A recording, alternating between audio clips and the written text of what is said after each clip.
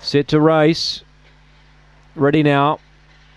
Away, speed Axel away only fairly. Good speed, Hot Mavros. Sappy Bale's going to carve and lead though.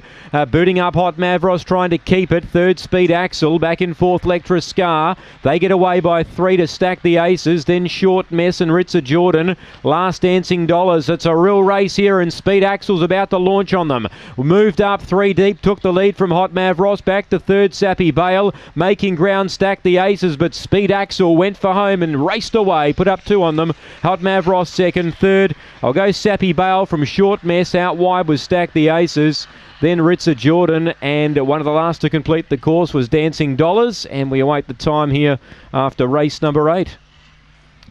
30 and 31, Speed Axel moved up down the back, took the lead, raced away. Hot Mavros kicked on well for second, Sappy Bale third, and Short Mess will get fourth. 1584.